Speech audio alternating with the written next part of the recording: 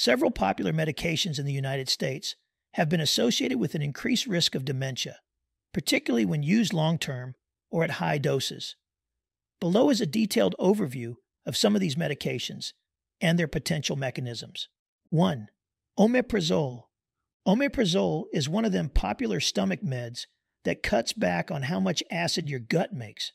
It helps with stuff like heartburn and ulcers. But some research shows it could maybe raise your risk of dementia down the road. Here's a few reasons why. First, it can stop you absorbing vitamin B12 properly over time since you need stomach acid for that. B12 is real important for keeping your nerves and brain working right. Not getting enough has been tied to brain fog and a higher chance of dementia. Second, PPIs, including omeprazole, can alter the gut microbiota. The gut microbiota has a significant impact on brain health through the gut brain axis, a complex communication network between the gut and the brain. Disruption of this axis may contribute to cognitive impairment. Lastly, some studies suggest that PPIs might cross the blood brain barrier and potentially influence brain function directly. However, the exact mechanisms and direct effects on the brain are still not entirely understood. 2. Anticholinergics. Anticholinergics are medications used for treating stuff like allergies, peeing problems, and stomach issues. They work by blocking acetylcholine, which is a chemical messenger in the brain involved in muscle movements and memory, and the potential link to dementia is concerning. Acetylcholine is critical for thinking skills and learning new information. These meds block acetylcholine receptors, leading to less of the chemical in the brain. If levels stay low for a long time, it can hurt someone's ability to think clearly and remember things, raising the risk of developing dementia. The longer someone takes anticholinergics, and the higher the doses, the worse this acetylcholine blockade gets. That ramps up the chance of mental decline. Older folks are especially vulnerable to the brain effects of these meds. Their aging brains already have less acetylcholine, and their bodies process drugs slower. Long term or high dose use of anticholinergic medications can significantly impact brain health, particularly in older adults, by disrupting acetylcholine function, which is vital for memory and learning. 3. Corticosteroids. Corticosteroids are a common type of medication used to reduce inflammation for conditions like asthma or arthritis. They can help manage flare ups, but long term use does come with some risks. The hormones affect the hippocampus region of the brain tied to memory and learning.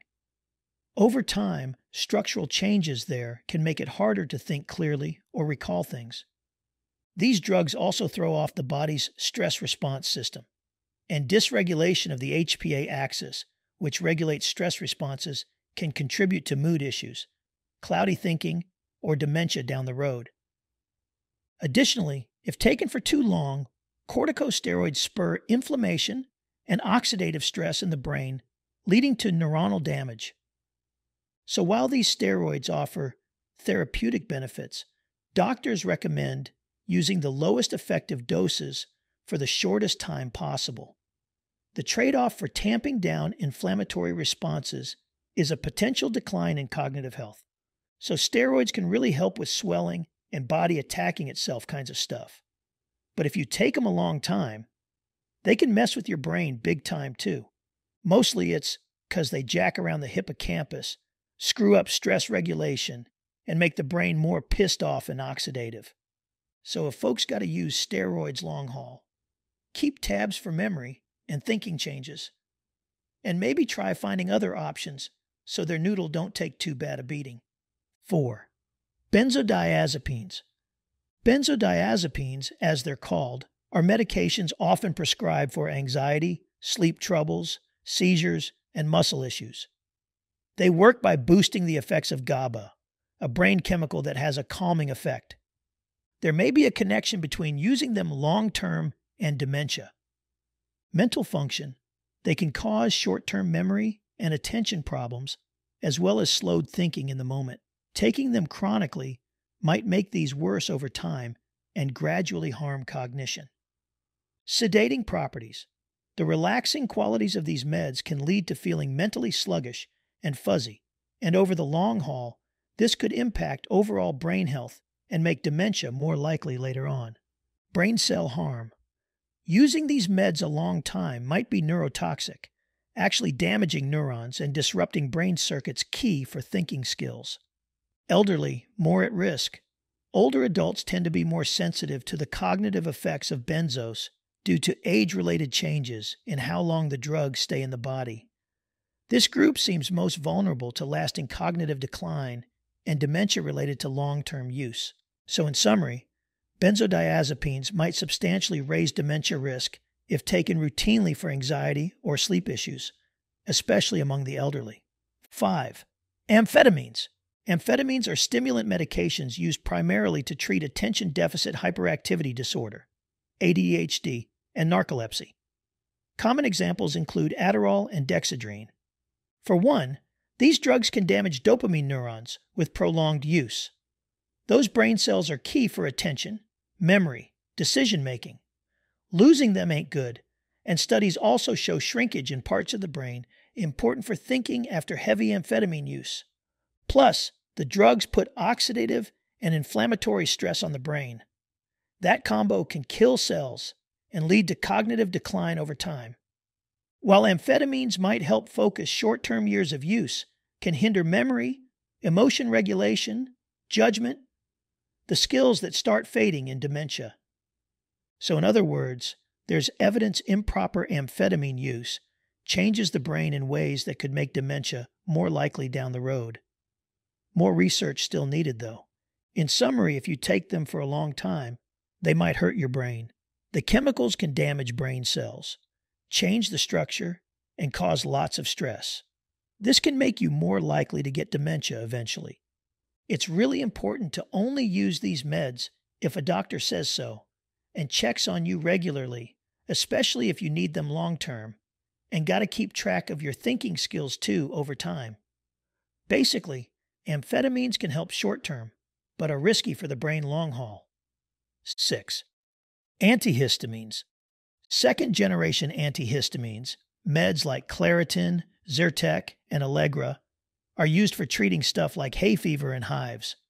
Unlike old antihistamines, these new ones are supposed to make you less drowsy. They do that by not getting into the brain as much.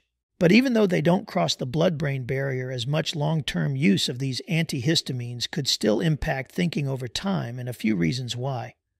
Some of them have mild anticholinergic properties, meaning they can block acetylcholine receptors in the brain. Acetylcholine helps with memory and thinking, so blocking those receptors, even a little bit, isn't great, especially with prolonged use.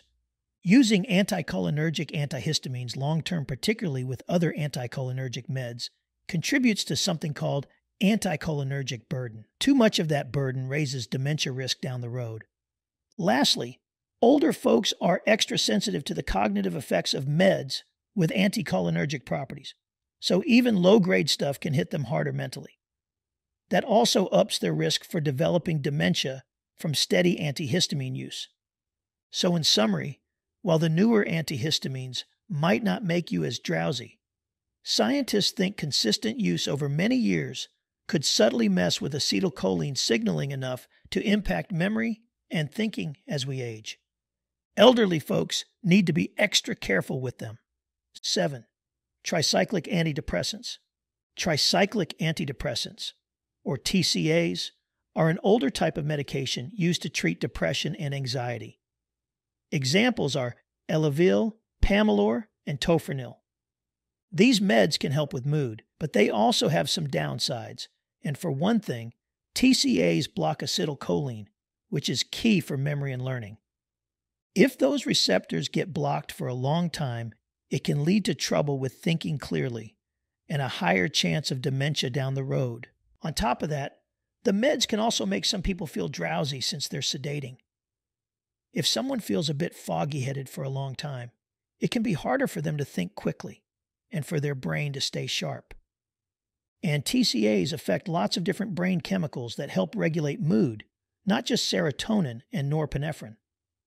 While that helps with depression, it may muddle up other brain processes that keep your cognition humming along the way it should. The cognitive effects can be especially strong in older folks. Their brains change over time anyway, and their body handles drugs differently. All of that means seniors are very vulnerable to some declines in memory and thinking with long term use of these meds. 8. Statins. Statins are medications that doctors prescribe to bring down cholesterol and hopefully lower folks' risk of heart issues down the road. But there are some mixed ideas on whether long term use of these pills can raise the chances of losing your memory and getting dementia. Cholesterol is important for keeping brain cells and nerve fibers healthy. Statins cut cholesterol, so some scientists worry that could mess with the brain's wiring over time. These medications also tamp down swelling and oxidative damage. That's likely good for dodging dementia. But experts don't totally understand how statins interact with the brain chemical soup. Certain statins can sneak past the blood brain border and directly change cholesterol levels up in the brain. So it's possible they influence thinking capacity. But different statins probably do this in different ways. So the connection between statins and dementia isn't clear cut. Studies show these drugs might help or harm the brain, and statins can improve heart health by lowering cholesterol. But we still got to figure out how they impact thinking over many years. Some research hints statins might shield the brain from dementia. Maybe their anti inflammatory and antioxidant mojo lend a hand. But other evidence flags potential problems from the cholesterol dipping or effects on brain cells. Folks using statins should stay vigilant for mental fog and memory issues. And doctors need to weigh if the perks outweigh the risks, especially for long term pops.